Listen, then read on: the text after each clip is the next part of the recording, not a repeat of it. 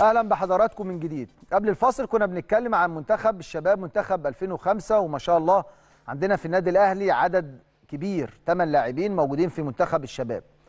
أيضا نروح لمنتخب 2008 اللي بيتولى القيادة الفنية ليه الكابتن أحمد الكاس نجم منتخب مصر السابق. وأنا واحد من الناس كنت سعيد جدا لما سمعت اسم الكابتن أحمد الكاس اللي ما كانش واخد حقه خلال الفترة السابقة وتولى القيادة الفنية لمنتخب 2008 آه، 2008 وبنتمنى له إن شاء الله يا رب كل التوفيق. بدأ الفعل أيضا في العمل في منتخب 2008 لكن كان في بطولة مهمة جدا لمنتخبات المناطق منطقة القاهرة منطقة اسكندرية منطقة البحيرة بورسعيد الغربية المنوفية المناطق بتضم عدد من الفرق جمعوا منتخبات ليهم وتمت إقامة بطولة منتخبات المناطق في اسكندرية. اللي نظم البطولة دي الحاج عامر حسين. دي حاجة محترمة وحاجة تحسب للحاج عامر حسين بيسهل الشغل للكابتن أحمد الكاس في عملية الاختيار. منتخبات المناطق زي ما قلت لحضراتكم القاهرة اسكندرية الغربية البحيرة ال- بورسعيد المنوفية تمت إقامة البطولة في اسكندرية. وكانت بطولة مهمة جدا تحت نظر الجهاز الفني لمنتخب مصر 2008 الكابتن أحمد الكاس والكابتن محمد إبراهيم. بدأوا يشوفوا وبدأوا يتابعوا ويشوفوا اللعيبة عن قرب مين اللاعب المميز علشان في أول تجمع لمنتخب مصر يتم استدعاء اللاعبين اللي تم اختيارهم. ولسه هيروحوا الصعيد إن شاء الله. النادي الأهلي كان عنده عدد كبير ما شاء الله أيضا في منتخب القاهرة. منتخب القاهرة. نروح نشوف الأسماء بالجدول. معانا تسع لاعبين من النادي الأهلي موجودين في منتخب منطقة القاهرة. وأيضا المدير الفني للمنتخب هو المدير الفني للنادي الأهلي الكابتن محمود بيومي واحد من المديرين الفنيين المميزين. معانا الأسماء. تسع لاعبين من فريق النادي الأهلي مواليد 2008 في صفوف منتخب القاهرة. عمر أسامة هشهش ده بيلعب back right. حمزة الدجوي مدافع. ياسين ياسر مدافع مهند الشامي ظهير أيسر. نكمل بقية الأسماء سمير. مروان محمد لاعب وسط عبد الرحمن رامو مانو رامي مانو جناح أيسر وأدم علاء صانع ألعاب وحمزة عبد الكريم مهاجم.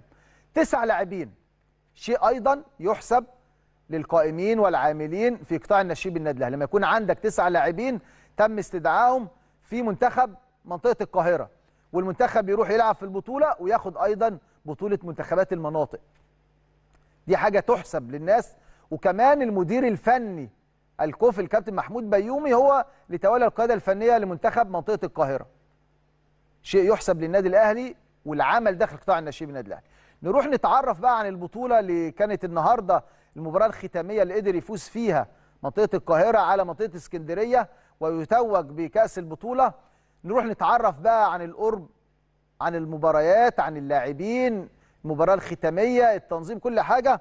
معانا على التليفون الكابتن محمود بيومي المدير الفني للنادي الأهلي وأيضا مدير منتخب منطقة القاهرة. تحياتي ليك يا كابتن محمود.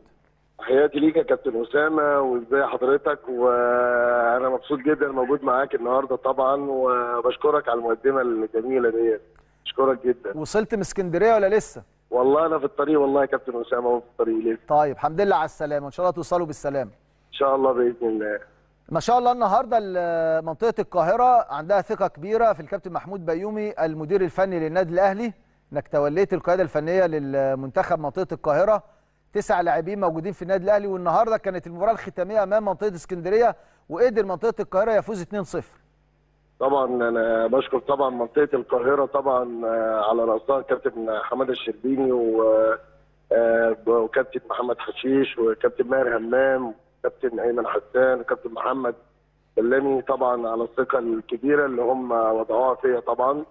وبشكرهم طبعا على تواجدي في منتخب القاهرة.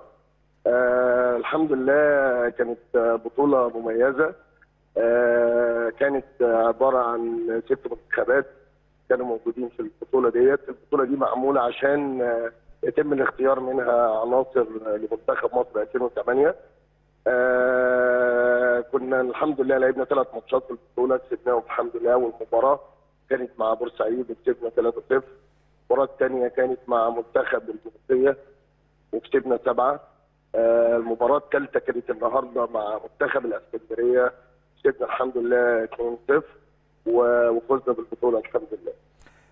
بالنسبة للجهاز الفني لمنتخب مصر طبعا كان بيتابع وبيراقب جميع المباريات الكابتن أحمد الكاس. فعلا البطولة دي يا كابتن محمود يعني آه، هتفرز لاعبين مواهب وهتخدم منتخب مصر آه، مواليد 2008 طبعا يا كابتن أسامة ده أكيد طبعا يتم آه، عمل بطولة بالشكل ده طبعا دي حاجة كويسة جدا.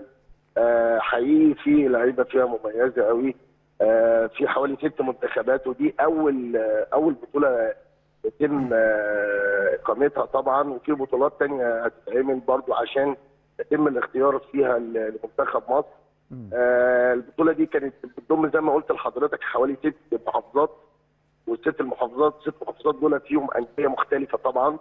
آه لما تيجي تتكلم على منطقة القاهرة ال- بيضم طبعا المجموعه اللي موجودة طبعا من نادي الأهلي آه ونادي إنبي ونادي آه، وادي دجلة والمقاولين العرب. وفي برضه لعيبة طبعا إحنا طبعا آه كنا ما قدرناش برضه ناخدهم معانا بس طبعا في الفترة اللي جاية هيبقوا موجودين. ده بالنسبة لمنتخب القاهرة. وجميع المنتخبات طبعا هتلاقي فيها طبعا أندية من لعيبة من أندية مختلفة يعني. تمام. طمنا على لعيبة النادي الأهلي ما شاء الله يعني تم انضمام تسع لاعبين من النادي الأهلي. يعني طمنا برضو على مستوى اللعيبة وأدائهم في المباريات. إن شاء الله يكون يكونوا موجودين كلهم في منتخب مصر 2008 مع الكابتن أحمد الكاس بإذن الله. والله يا كابتن أسامة الحمد لله التسع لعيبة طبعا اللي تم اختيارهم طبعا في منتخب القاهرة. الرقم ده طبعا الناس بتقول عليه كبير رغم إن في لعيبة أنا ما عرفتش أخدها معايا المنتخب برضه. لكن آه، التسعه دول طبعا آه، سافروا معايا في المنتخب. لعيبة كلهم مميزة جدا جدا. آه، وتم آه، يعني كابتن أحمد الكاس كان مبسوط جدا جدا باللعيبة ديت ومستفيد بيهم خير قوي قوي وعملوا بطولة هايلة بصراحة يعني. أنا معايا حمد عبد الكريم المهاجم طبعا ومعايا آه، مهند الشامي ومعايا حمزة البدوي ومعايا مروان محمد معايا آدم علاء معايا عمر أسامة اشاش آه، المجموعة دي بصراحة يعني لاقت قبول الحمد لله كويس جدا. آه، منتخب آه، مصر كابتن أحمد الكاس واثنى عليهم. مش هم بس بصراحة يعني ولاعيبة إنبي واللعيبه كلها يعني. كابتن أحمد الكاس اثنى عليهم ومبسوط جدا من أدائهم ومبسوط جدا بال quality بتاعهم يعني حصل حوار يا كابتن محمود. الكابتن أحمد الكاس وجه نصايح تعليمات للعيبة بعد المباريات. آه، هل اجتمع بالجهاز الفني لمنتخب منطقة القاهرة؟ حصل حوار أو دار حوار ما بينكم والله طبعا هو طبعا حصل طبعا حوار وحصل تواصل طبعا.